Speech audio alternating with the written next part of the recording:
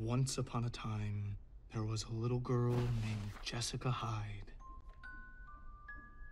Jessica Hyde had a daddy who was a genius scientist.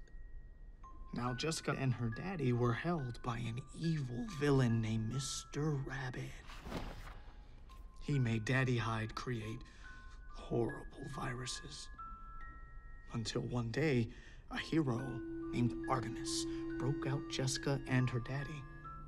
Mr. Rabbit sends his henchmen, the Harvest, after them. The Harvest kidnapped Daddy, so now Jessica Hyde has to save him. But that's just the mythology. Dystopia appeared in 2014, and if you're smart, if you're really, really smart, you can study it and decipher all the real life epidemics it predicted.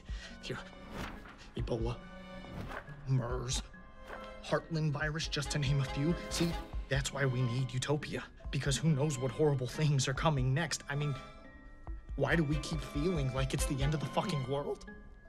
Because someone is ending the fucking world. You're- not getting it. Look, look. Microcephaly, mosquitoes.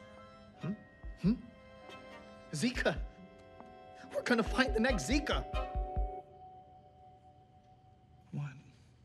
Kind of reminds me of what you say about God. If the ignorant want to believe, they'll find a way.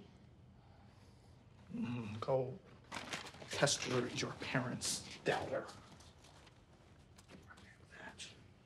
Yes. Ah, ah, germs, germs. Seriously, please.